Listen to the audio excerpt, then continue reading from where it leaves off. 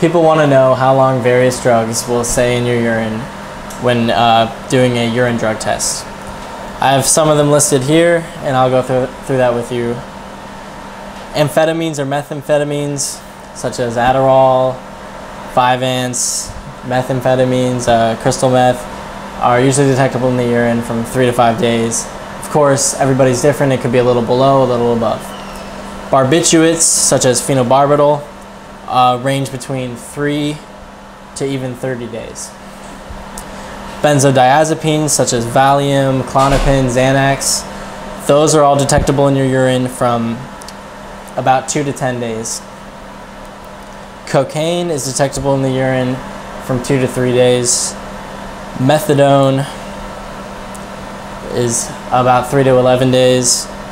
Opiates such as codeine or heroin are detectable for three days. Um, a lot of those drugs will metabolize, such as uh, codeine will turn into morphine in your drug test, and that'll be detectable a little bit longer. So the codeine only lasts about a day, but the morphine will still show up, and that had to come from something. Uh, marijuana almost is a common one, and that's uh, anywhere between five to 60 days.